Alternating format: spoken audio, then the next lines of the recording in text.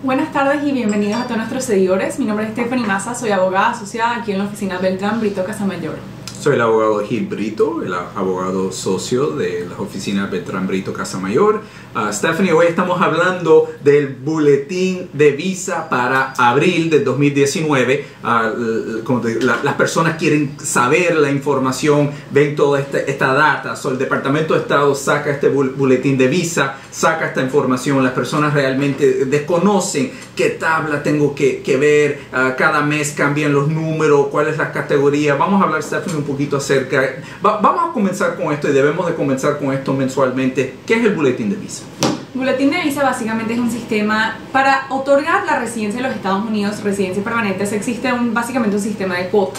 Entonces uno aplica o basado en un caso familiar o basado en empleo y basado en cuando tu aplicación es recibida por inmigración es cuando te pueden otorgar la residencia, ¿verdad? Uh -huh. Entonces existe un sistema de cuota y este boletín de visa te puede decir cuándo es que puedes entregar esta etapa para aplicar realmente para la residencia permanente. So, primero la persona tiene que ver, bueno, ¿qué tipo de caso tengo? ¿Es un caso de familia o es un caso de empleo, capaz de inversión? Lo que estamos hablando son casos inmigrante. Correcto. Número uno, en el recibo de la presentación de esa solicitud va a haber una, una fecha muy importante, Stephanie, que es la fecha priority date, fecha de prioridad. No la fecha que llegó el caso a inmigración, no la fecha que el caso está aprobado. Dice, va a haber, va a haber un, una cajita que dice priority date. Esa fecha, cuando estamos hablando de boletín de visa, es la fecha esencial, la fecha más importante.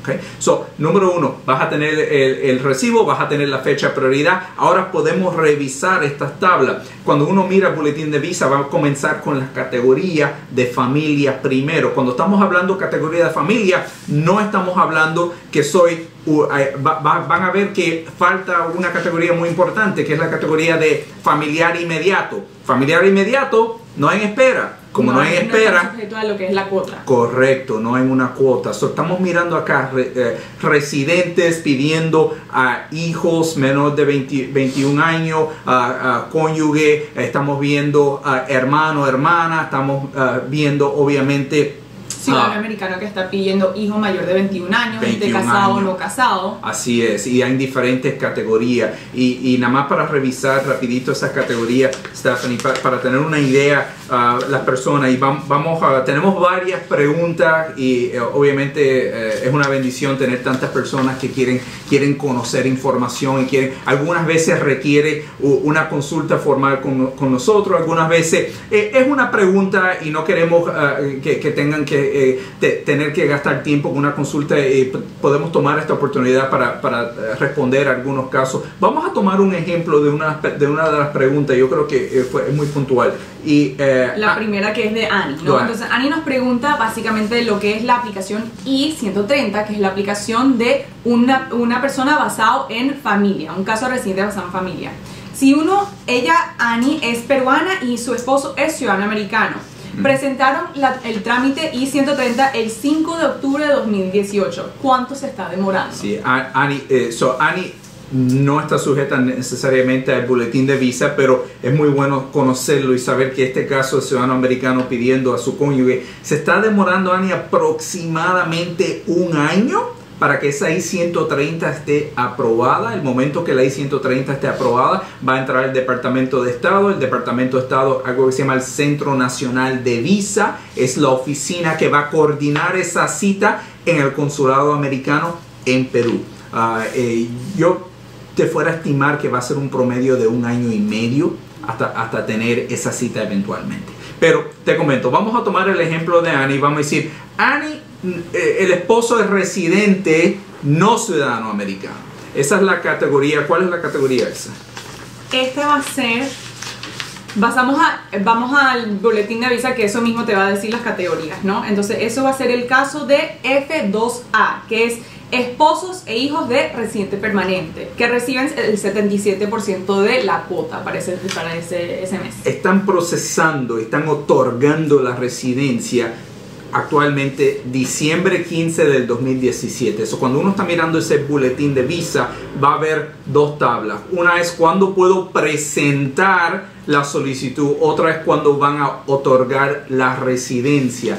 Esto es dates for final action Ok, so si miramos dates for final action, Stephanie, en el caso de familia, están otorgando la residencia de diciembre de 2017. Para que las personas entiendan, esa es una categoría que siempre estaba dos años y medio hasta tres años atrasado. Si estamos, estamos hablando de diciembre del 2017, no está muy mal esa categoría. Si quieres pedir un familiar, en este sentido, esposa, esposo, hijo menor de 21 años, se está demorando dos años como un promedio. Yo lo veo que está fantástico eh, realmente, ¿no? Cuando lo comparamos con el ciudadano americano que está pidiendo al cónyuge, realmente no es tanta diferencia. No es tanta diferencia. So, definitivamente esta idea de, bueno, soy residente solamente y se va a demorar mucho esa pedida para, para mi esposo, para mi esposa, no, eh, no se va a demorar tanto realmente. Se, se están, y ¿Qué es la razón por eso? Esto es muy interesante porque el Departamento eh, de Estado, esta información no la van a encontrar acá, esta es información que uno lee porque obviamente somos abogados de inmigración, tenemos cierto acceso a información. Y el Departamento de Estado dijo en un informe que la razón que está pasando esto es porque hay menos solicitantes. Ah, y hay menos solicitantes por muchas razones, pero hay menos solicitantes también porque yo pienso que la persona piensa que esto es capaz algo difícil o algo que se va a demorar mucho tiempo y realmente no, no se está demorando tanto tiempo y es algo que las personas tienen acceso a esto y definitivamente lo deben hacer. Pero vamos a brincar ahora, estamos hablando familia, Stephanie, vamos a aplicar algo que muchos de nuestros clientes ahora están preguntando, estos son nuestros clientes actuales, a muchos capaz que están mirando actualmente. Yo cuéntame del boletín de visa para abril, cuando tengo mi I-140 aprobada o pendiente y cuándo voy a ser residente permanente de los Estados Unidos. Vamos a, eh, eso ya es la categoría EB1. Stephanie, cuéntame un poquito de esa categoría. ¿Cómo está la fecha? Actualmente, como estamos, no se ha movido mucho, mucho, sí se movió un mes, entonces están viendo esos casos que aplicaron para la I-140 el primero de febrero de 2018. Entonces ha habido algún movimiento, no es sustancial, pero vamos poco a poco. ¿Qué quiere decir eso? Quiere decir que muchas personas que presentaron casos en el 2017, principio del 2018, cuidado, ya tuvieron la entrevista en, en, la oficina local de inmigración y me están diciendo, yo, ¿cuándo me llega la green card? Y obviamente nosotros decimos, bueno, vamos a mirar la fecha de prioridad, la fecha de prioridad, su caso se presentó en enero, o están procesando los casos febrero, están procesando los casos de marzo. ya tuviste la entrevista y el caso principal se presentó antes de febrero primero del 2018. Le va a llegar la green card pronto, muy pronto. Estoy viendo buenos resultados, estoy viendo muchos casos de diciembre, enero que están otorgando las residencias, están enviando las green cards. So, si la fecha suya es febrero primero 2018 o antes de cuando se presentó la I-140, no cuando fue aprobada, no cuando se presentó la I-485, cuando se presentó la I-140, yo fuera esperar un promedio 60, 90 días, capaz que le deben estar llegando la residencia, que es muy buena noticia. Que algo clave también, si uno mismo está buscando en, la página del Departamento de Estado cuál de las dos eh, charts que uno tiene que mirar, hay dos. Entonces, inmigración te va a decir cuál mirar. Para empleo estamos mirando uno que se llama Final Action Date, que es lo que inmigración nos indica que tenemos eso, que mirar. Eso cambia, Stephanie, casi mensualmente. Algunas veces inmigración, so, tenemos dos entidades tenemos la entidad de Departamento de Estado quien saca el boletín de visa. Tenemos a USCIS, UCIS, Inmigración dentro de los Estados Unidos, no el Departamento de Estado, que va a decidir cuál tabla de las dos se va a escoger. Eso cambia mensualmente. Actualmente para este mes están mirando la primera tabla que es Final Action Dates. El mes pasado estaban mirando otra tabla, capaz el mes que viene va a ser diferente. So uno tiene que estar muy atento a ese tema, ¿no? Y algo importante es que el boletín de visa usualmente sale más o menos para el próximo mes, alrededor del 10 al 15 del mes anterior. Entonces uno ya puede estar, irse preparando y decir, ya viene mi fecha, han dicho, entonces el 1 de abril uno puede ya empezar a ¿Qué está pasando actualmente, Stephanie, con clientes que están esperando residencia permanente en Venezuela? la embajada americana ha, suspendido, vamos a decir, suspendido citas por el momento. ¿Qué está pasando con eso? Actualmente, si uno ya tenía una cita prevista en lo que era la Embajada Americana en Caracas, que dejó de funcionar actualmente, están reprogramando las citas en Bogotá, la Embajada Americana en Bogotá. Eso es para casos de residencia permanente, más que nada, lo común es que van a trasladar todo a, a Bogotá, ¿no? Al, al futuro, ya el Centro Nacional de Visa, cuando, cuando esté coordinando el caso con la embajada, ya no va a estar coordinando con Caracas, va a estar con- coordinando en el futuro con Bogotá. Eso es algo que está pasando automáticamente para los casos nuevos, para los casos que ya tenían pendiendo cita. Ah, hay una forma, estamos en contacto directamente con el consulado americano en Bogotá. Bogotá está pidiendo esos archivos de Caracas y vamos a tener esos, esos casos con citas, eh, eh, esperamos pronto con citas en Bogotá. Y si ya tenías cita, fecha y todo en Caracas, te van a dejar saber que han reprogramado la cita y te van a dar una nueva cita en Bogotá. Sí. Right? Para casos, algo importante es para casos de no inmigrantes, las visas temporales, visas de empleo, por ejemplo. Esas sí, el- eh, la embajada en Caracas ha indicado que puedes procesar en cualquier consulado, sin embargo, tienes que contactar el consulado adelantado, el consulado americano en el país donde quieres aplicar y ver si lo pueden asistir. Estamos viendo que Bogotá sí va a asistir a todos los venezolanos, pero puede haber una opción de otro consulado, por eso nos contactas a nosotros y podemos estar directamente en comunicación con ese consulado. Muy bien. Eh, tenemos una pregunta rapidita de Carolina. Carolina pregunta, a mi padre se le venció la I-94, quiere decir que eh, él actualmente se encuentra dentro de los Estados Unidos, casi seguro entró como turista para los Estados Unidos y, y su estadía legal ya se terminó, se venció. ¿Qué, qué hace en ese caso? Bueno, ah, él es padre de un ciudadano americano, ah, tendrá algún problema a la hora de solicitar su residencia. Stephanie no va a tener problema solicitar la residencia. Muy importante que el ciudadano americano, hijo que esté pidiéndolo, sea ya mayor de 21 años, número uno. Número dos, que, que su papá Carolina entró legalmente para los Estados Unidos. Es realmente lo que importa. No importa que actualmente se encuentra sin estadía legal. So, ah, él va a proceder bien, no debe tener ningún problema. Por esta persona, como es padre de ciudadana americana, no está sujeta a lo que es estas tablas, es immediate relative en inglés se Ujú. conoce. Tenemos otra pregunta de Gil de Celine. Sure. Em, esta persona, su futuro esposo es residente americano. Ujú. Él y yo nos casamos el 27 de julio de este año y queremos empezar los trámites. Con mi hija, que tiene 9 años, que no es hija de él. Ujú. Ella puede estar incluida en el, tra- Sí, esto, trámite. esto es muy importante. So, ¿Cuándo empieza la relación? Yo sé, Safri, que esto realmente no tiene que ver con de visa, pero son preguntas importantes y información que la gente Right. quiere realmente. ¿Cuándo empieza la relación para, para un step parent, padrastro, madrastra? ¿Cuándo empieza esa relación? Esa tuvo que, que crearse la relación, es decir, mamá y papá casarse antes que ese niño niña cumpliera 18 años, ¿ok?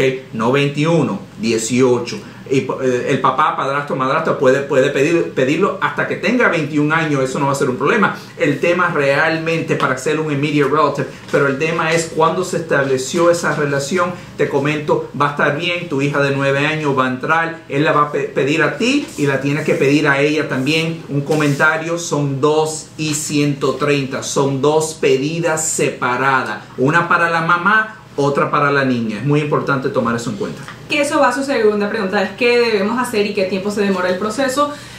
Van a, van a aplicar una I-130 para cada uno, Celine. Eso creo que responde el resto de la pregunta, nos contacta cualquier Tiempo- cosa. tiempos, tiempos rapidito, estamos hablando ah, un año y medio como un promedio.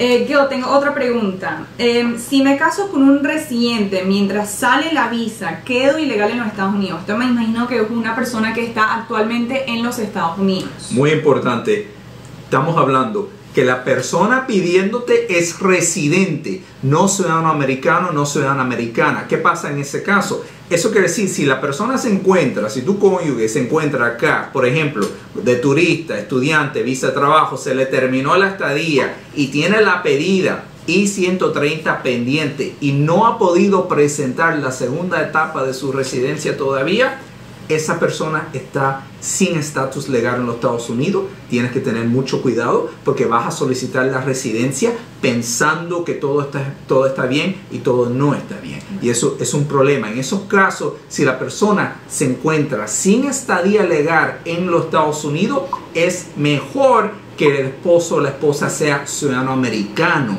para hacer la pedida, no residente. Tienen que tener mucho cuidado con eso. Y nos pueden contactar. Hay maneras de, antes de que se te vence la estadía actual, de aplicar para otra estadía en los Estados Unidos mientras que estás esperando para lo que es el trámite de casarse con un residente permanente, ¿right? Uh, tenemos una pregunta de Edgar no relacionada con el boletín de visa. Quiere saber qué puedo hacer si me niegan la visa de turismo para los Estados Unidos. Uh, esperar otros seis meses. Uh, yo no la fuera a pedir inmediatamente de nuevo. Tienes que tener suficientes lazos con tu país, que es la razón principal, Stephanie, que están negando una, una, una pedida de visa de turista. Es algo que se llama intención inmigrante. Tienes intención para inmigrar de a los Estados Unidos.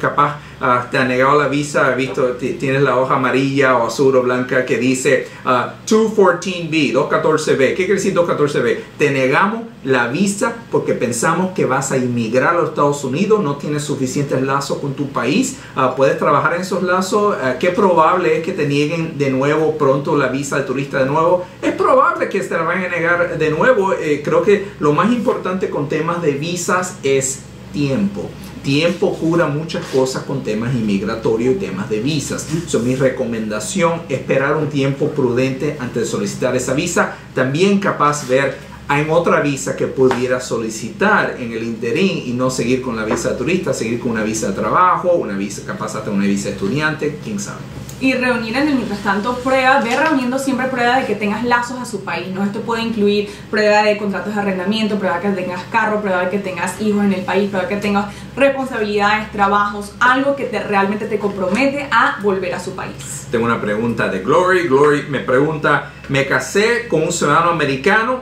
mi hija tiene 17 años, a ella le dan ciudadanía o residencia. Esto es muy importante.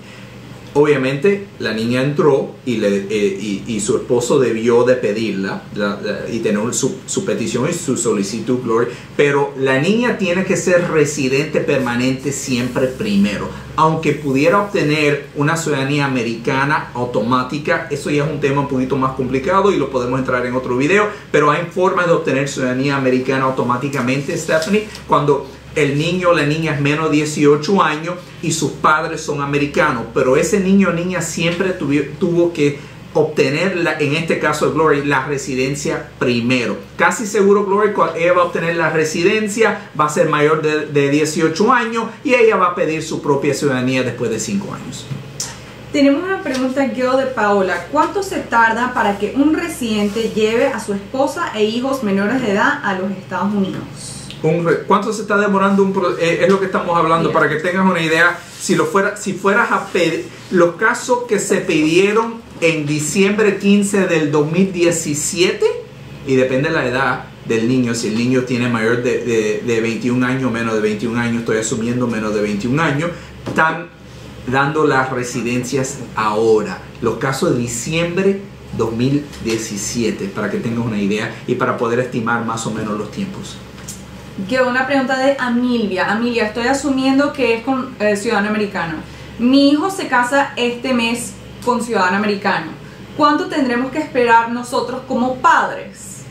Eh, seis años y medio, siete años más o menos. Ah, ah, todo depende. Vamos a hablar de, eh, un caso típico. Ah, me caso con uh, ciudadano americano, me hago residente permanente, eso se toma un año y medio, dos años. Tengo que entonces capaz quitar la condición de esa residencia porque le otorgan una residencia condicional de dos años eso actualmente se está demorando bastante. Te estoy hablando, 30, dicen ellos 36 a 39 meses y medio, casi 40 meses se está demorando el proceso de la I-751 para quitar la condición de residencia. Eventualmente, cuando eso pase, la persona puede solicitar la ciudadanía, después ser residente permanente por 5 años. Entonces, te puede hacer la pedida, que se va a demorar otro año y medio, por eso digo que va a ser 6, 7 años ese proceso. Algo clave que la ciudadana americana esposa puede pedir a los suegros, no, es básicamente el mismo, él mismo, cuando él se haga ciudadano americano es cuando los puede pedir. Los puedes pedir, es así, es así. Em, creo que tenemos preguntas por ahí. ok. Tenemos preguntas relacionadas a simplemente cómo contactarnos, ¿ok? Alejandro, ¿cómo hago para formular una pregunta? Realmente o nos encuentras en este live, nos puedes contactar a vía de este live, en Instagram, en Facebook estamos, nos puedes escribir en YouTube. Lo más prudente sería nos escribir un email info arroba y podemos responder su pregunta si es una pregunta rápida en nuestro próximo Facebook Live o nos puedes contactar y podemos hacer una cita eh, en, nuestras oficinas. Y eh, si puedo contactarlos por Instagram de Eduardo, sí, nos puedes contactar, Con mucho vamos a gusto. responder todas si, las preguntas. si tienen una pregunta puntual, los puedes pasar un correo a info at, at beltranbrito.com. Ah, podemos poner esa pregunta en la lista de preguntas que estamos respondiendo acá. Puedes hacer una, una consulta formal si les gustaría. Muchas gracias por estar con nosotros. Si tienen alguna otra pregunta, no duden en contactarnos y nos vemos en la próxima Facebook Live e Instagram Live. Muchas gracias. gracias.